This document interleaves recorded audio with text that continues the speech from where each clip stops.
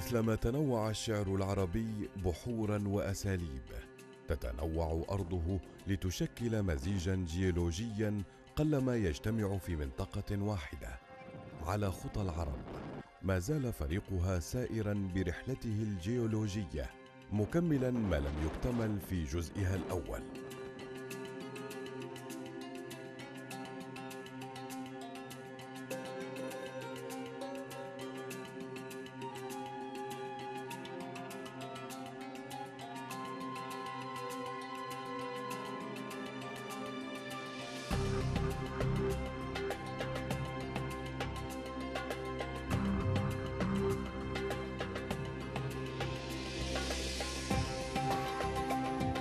نحن الآن في وسط حرة النار حرة بني رشيد حاليا. يوجد هنا تشكيل جيولوجي لا يوجد له مثيل. الآن نحن في فوهة الفوهة البركانية لجبل المشوية ويقع أمامنا من جهة الغرب جبل القدر فوهة جبل القدر والصهارة البركانية العظيمة اللافا وبالمناسبة اللافا كلمة عربية لابة. انتقلت للإنجليزية عبر الإسبانية ومن ال... والإسبانية أخذتها من العربية. فهذا دليل أن اللغة العربية أم اللغات. لأن هم عندهم براكين لماذا سموها لابة بالنسبة للعربي. وهذا موضوع آخر. هذا الجبل جبل القدر شبيه جدا بجبل فوجي باليابان. نفس الشكل بالضبط. وهذاك جبل بركاني وهذا بركاني. ويقع عنه شرقا جبل البيضة جبل بركاني من الحجر الجيري ويقع عنه جنوبا غربا الأبيض الرأس الأبيض وهذاك أرفع قمة في وسط الجزيرة العربية يرتفع ل 2096 متر. هذه المنطقة التي تمتلئ بالرماد البركاني هذا رماد بركاني هذه المنطقة في شهر الصيف في الصيف في شهر أغسطس درجة الحرارة في الليل تصل إلى 20 درجة مئوية فهذا مكان منتجع لا يوجد له مثيل بين هذه التشكيلات الربانية الهائلة. هذا الرماد البركاني يستخدم في آيسلند في Blue Lagoon القريبة من ريكيافيك. يطحن ويوضع علاج للبشرة وعلاج لجميع الأمراض الجلدية. أيضا هو سماد يوضع في النخل. النخل اللي يوضع فيها الرماد البركاني ذا اللي طالع من آلاف الكيلومترات تحت الأرض هذا يحوي معادن مركزة من البوتاسيوم ومن المغنيسيوم ومن الألمنيوم ومن جميع أنواع المعادن. هذا يعتبر سماد ويعتبر علاج للروماتيزم لدفن الأرجل فيه. لعله يوم من الأيام يستغل ويستفيدون منه أهل المنطقة. هذه البراكين لم تثر في وقت واحد إنما بأزمان جيولوجية مختلفة. فهذا الجبل والجبل الأبيض والبيضة سابق لجبل القدر. لذلك تحولت إلى فتات بركاني. هذا كان عبارة عن صهارة. اللافا اللابة باللغة العربية وهي أصلا لغة عربية كانت متجمدة زي سوف نراها في جبل القدر. هذا لأنه أقدم ملايين السنين من جبل القدر تفتت وتحول إلى رماد بركاني. وهذه المنطقة رفيعة جدا فوق سطح البحر باردة في الصيف. آه، الجبل هذا الجيري الأبيض البركاني لا يوجد له مثيل في العالم. هو هو بركان لكنه أبيض لأنه لما ثار البركان أخرج لنا الجير من قلب الأرض. والرأس الأبيض هذا فوقه مسجد أثري لا نعلم عمره. يحتاج علماء الآثار يحددون عمره. طبعا الصعود إلى جبل الأبيض صعب جدا أما الجبل البيضاء والقدر سهل. وهذا المكان اللي فيه المشوية أو المشوية أيضا سهل. أيضا يقع عندنا جبل العاقر وجبل الإكليل وغربا آه، آه، عن جبل القدر يوجد السنفرة. كل هذه لها أسماء ومعروفة وفريدة. أمام بحر هائل من من الصهارة البركانية كأنها ثارت قبل أيام.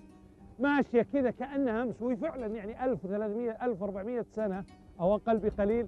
لا يعتبر شيئا في الزمن الجيولوجي.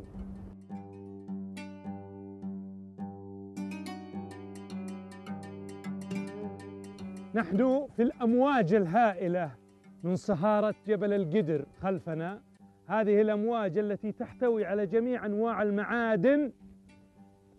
يا ليتني عندما كنت صغيرا أتى بي مدرس الجغرافيا إلى هذا المكان. طبعا الآن الآن الطريق وصل فليس هناك عذر لأن هذا مدرسة مدرسة حقيقية في علم الجيولوجيا. والصهارة لا يكسوها طبقة من العشب كما في بقية بعض بلدان العالم أو أكثر بلدان. هي هنا صالحة للقراءة واضحة. ترى فيها كيف تكونت اللافا وكيف انصهرت وكيف تكسرت وكيف سالت من أعلى جبل القدر. إنها رائعة جدا.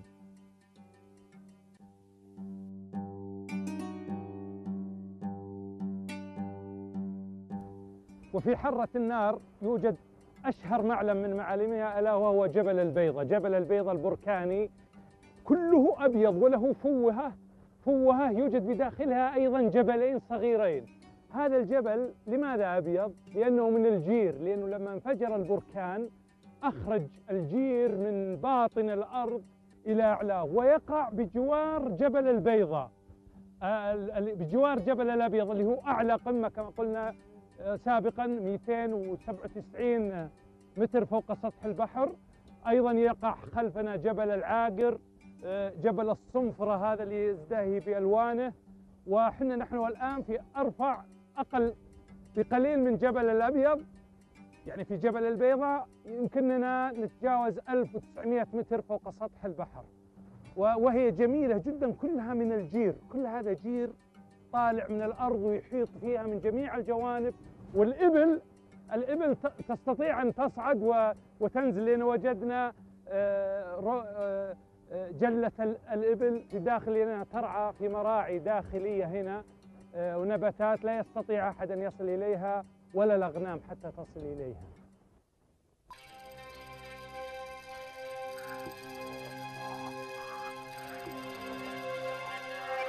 إذا كان شعراء المعلقات هيجوا جيولوجيا الزمن الماضي فإن شعراء الحاضر وضعوا قرائح شعرهم تحت تصرف الجيولوجيا.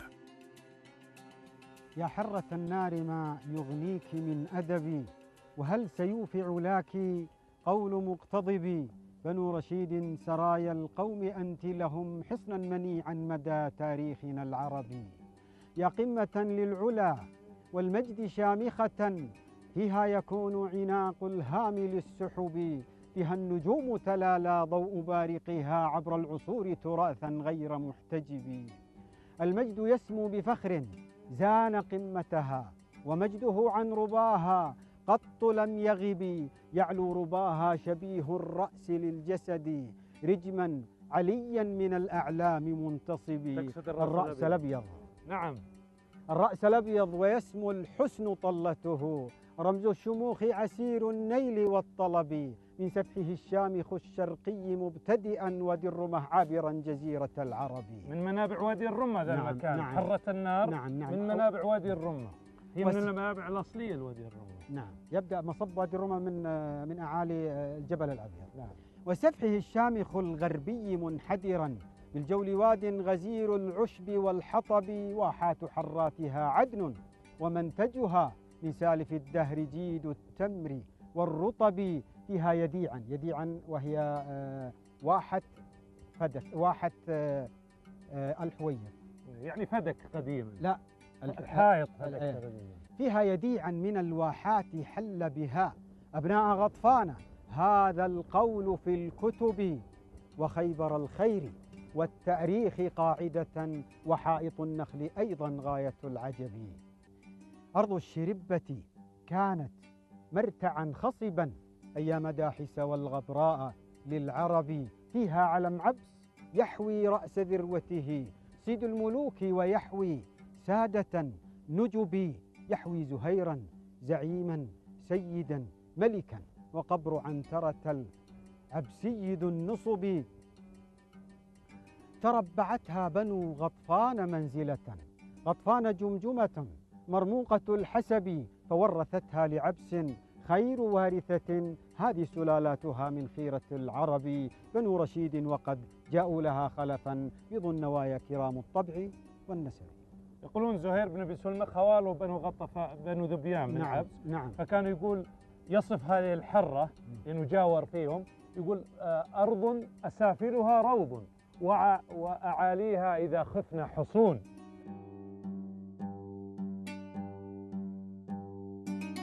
آه، نتعرف على الأخ الكريم وش اسمك؟ عوض طلب آه، العويمري الرشيدي ونعم والله. ما عليك شغل. من أهل الديرة هنا. نعم من أهل الديرة هذه. و- ولك خبرة كثيرة بالفوهات البركانية هذه. نعم نعم. أنا هذا وش اسم الجبل هذا؟ الجبل هذا العاجر. العاقر. العاقر. ليش سمي العاقر؟ والله هذا سمينا من يوم الصغير وحنا نسمعه العاجر. ما. علشان ما يقدر ما يرقاه حد- ما حد يرقاه ولكن أنا رقيته بنفسي. أنت رقيته؟ أنا رقيته بنفسي. مو بعاقر الحين جاه ولده. جاء ولدي نعم. طيب وش لقيت فوق؟ والله لقيت أرض سطحية شوي. فيه منازل قديمة إيه. بدو أو هذا. هذا اللي لقيت فيه. إيه وال وال وال طيب وال والصنفرة جبل الصنفرة والقدر هذاك رقيته؟ القدر رقيته وفيه فوهة. إيه. هو- فيه فوهة بالقدر وفيها هواء يجذب. يشفط الواحد. يشفط الواحد يجذب. ودايم ذا الهواء ولا بعض مرات يطلع؟ لا لا دايم. دايم إيه. دايم هذا الهواء دايم. بالصيف أنتم يقولون برد عندكم هنا برد بالصيف, بالصيف هنا برد. لازم تلحف ولازم تشب النار. بالليل طبعا. لا بالليل والعصرية كذا.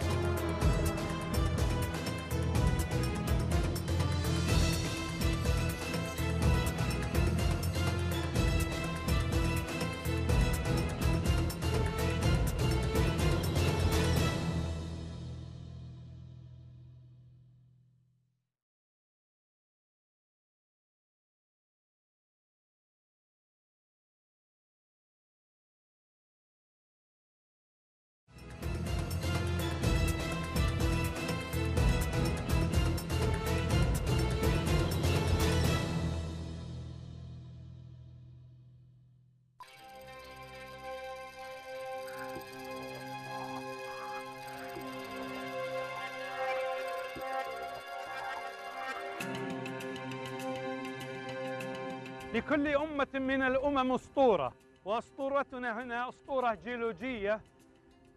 هذا يسمى الوعبة يعني الفوهة ويسمى باللغة العامية والذي تداوله الناس مقلع طمية. يوجد جبل هنا اسمه طمية. انقلع من هنا وطار 350 كيلو متر نحو جبل اسمه قطن. قطن أبيض جبل قطن. يقع بين المدينة المنورة والقصيم. هذا الجبل هذه الفوهة العظيمة التي تعتبر من أكبر الفوهات البركانية على سطح الأرض وليست آه، مضرب نيزك إنما هي فوهة بركانية لأننا نقع في حرة كشم ويوجد فوهات بركانية كثيرة هنا زي الهيل زي عسلج زي شلمان. نحن نقع آه، شمال قرية أم الدوم آه، شمال شرق الطائف والوصول إلى هنا من عند مخرج أم الدوم باتجاه الطائف قبل الطائف 250 كيلو. هذه الفوهة يصل عمقها تقريبا إلى 400 متر وقطرها يصل إلى آه، 2000 متر ب 2500 متر. ويوجد في قاعها هذه الفو الملح لأن الأمطار آه، تنزل عليها فيصير مستنقع ماء ولكن الطمي الأرض لا تشرب الماء فيتبخر الماء ويبقى الملح فيعطي هذا الشكل العجيب الذي كأننا نراه على سطح القمر ونحن لسنا على سطح القمر. أيضا يوجد شلالات مياه وعيون في الجهة الشمالية هناك. يوجد أشجار الدوم. أيضا حنا عند ام الدوم لأن لأن يوجد فيها النخل هذا اللي يسمى أم الدوم يسمى الدوم. ويوجد فيها شجر الأراك. طبعا لا يستطيع أحد النزول إليها إلا بصعوبة وخطير جدا. ما دام الوضع هنا لم يطرأ عليه أي تحسين لكنه طبعا نطمح بالمستقبل تس- يستخدم هذا المكان كمزار سياحي هائل. القصة إن طمية هذه أنثى الجبل اللي هنا نحن في جبال الحجاز في الدرع العربي هذه هذا الجبل أنثى. في ليلة من الليالي قبل بدء الخليقة يقولون هذه الأسطورة تقول كذا وأهل البادية يقولون كذا كلهم. كان فيه برق فطمية هذه اللي طارت من هنا شافت جبال قطن. قطن جميلة مصفرة بيضاء رأتها في البرق فطارت إلى إليها. وفي الطريق إليها كان تتساقط منها أحجار. فعلا من هنا إلى جبال قطن بين المدينة والمنورة والقصيم يوجد خطوط من من من الحجارة السود البركانية زي هذه. فمر فمرت قطن وهي تطير من فوق آه، جبل اسمه عكاش قريب من جبال قطن. فرمى فعكاش رمى قطن أصابته الغيرة فرمى قطن برمحه فسقطت طمية فصارت بين عكاش وقطن. والجبل هناك الآن موجود وهناك بعض المبالغات. أنهم يقولون نفس النباتات الموجودة هنا في حرة كشب في مقلع طمية هي نفسها الموجودة في جبل طمية بين القصيم والمدينة وهذا موضوع يحتاج إلى بحث.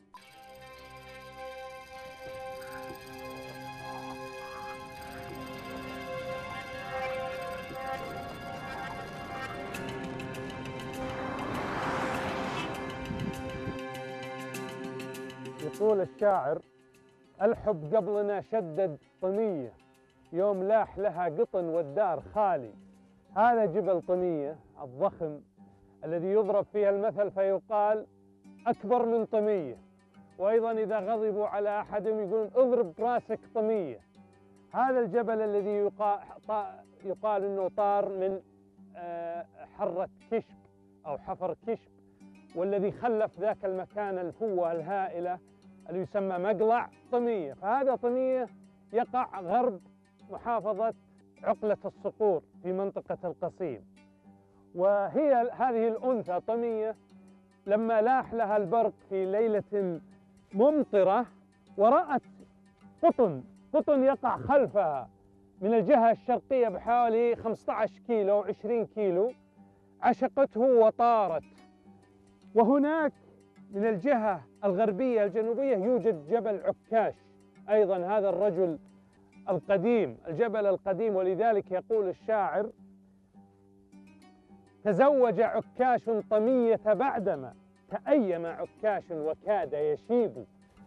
فلما مرت طمية طائرة في السماء رماها عكاش برمحه كما قلنا فسقطت هنا لأنه من الغيرة غار غار أصابته الغيرة من قطن كيف يفوز بطمية حتى أن الأساطير الأخرى أهل البادية يقولون بما أن خلفنا هنا يقع مباشرة من الجهة الشمالية آه، آه، الغربية يقع منجم الصخيبرات منجم الذهب.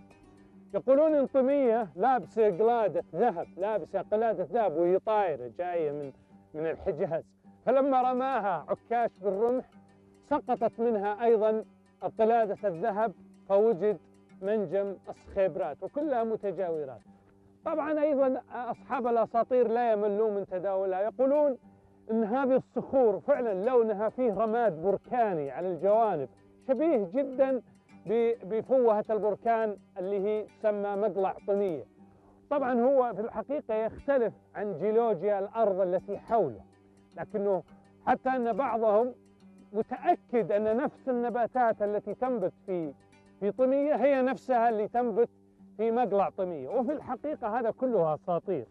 هذا الجبل مسطح كبير. هذا أصله كانت كلها منطقة على مستوى الجبل. هذا الجرف الجرافات حصلت خلال ملايين السنين. وبقي هذا الجبل. يعني إحنا الآن في مستوى منخفض. ملايين السنين سطح الجبل هو سطح هذه الأرض. لم يطر ولا شيء. لكن هذه الأساطير لأنه فعلا شبيه جدا بمكان الفوهة إذا رجعناه سقط بنفس الفوهة هذا الجبل آه، يحتوي فوقه على آه، في يوجد أشجار يوجد أرض قيعان بيضاء وهو مأوى آمن للذئاب. وكانوا يجدون فيها الكمأ يصير حجمه كبير جدا. يعني فوقيه أعلاه مسطح. وإذا أتت الأمطار من شدة ارتفاعه يغطيها السحاب. يغطيها السحاب هو ارتفاعه أكثر من 1600 متر. ولا يستطيع أحد أن يرتقيه إلا من الجهة الشرقية وتستغرق مدة الصعود ساعتين. ساعتين بالضبط حتى تصعده. ولعله يوم من الأيام يستثمر. هذا يأتي أحد المستثمرين. لأن أنا صعدت في فصل الصيف بارد سطحه. لماذا لا يوضع تلفريك هنا ويوضع فوقه سكن أو نزل فيكون مكان مريح ويستمتع فيه حتى في الصيف. أنا صعدت في شهر ثمانية أغسطس في النهار بارد وفي الليل برد حتى. فهذا طمية المشهور. أيضا يقولون العوام والناس قديما أيام السفر على الرواحل يقولون كل جبل تمسيها المطية إلا ساق وطمية لأن كنت جاي الآن من القصيم باتجاه المدينة المنورة تظل حوالي الساعة وأنت تنظر إليه ولا تصل إليه. المطية الناقة تشوفه من بعيد فيمسي عليك الليل وانت ما وصلت. أما الجبال الأخرى تمسيها المطية.